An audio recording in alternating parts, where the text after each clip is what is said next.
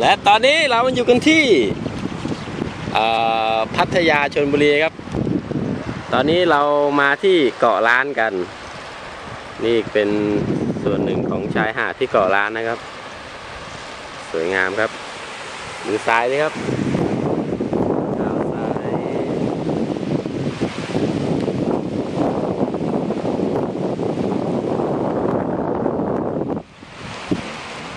ต อนนี้เป็นบรรยากาศช่วงเช้านะครับ เวลาประมาณ2โมงเช้า ก็ยังไม่มีแขกมากันเท่าไหร่นะครับหาดสวยทะเลใสครับมามาจะไปบ้านจะไปบ้านมาจะไปบ้านมาจะไปบ้านกลับบ้านแล้วเหรอ กลับบ้านนอกแล้วกันนะครับ วันนี้เราจะกลับสุโขทัยกันแล้วครับ ชมบรรยากาศชัดๆอีกครั้งนะครับ เกาะล้านนะครับ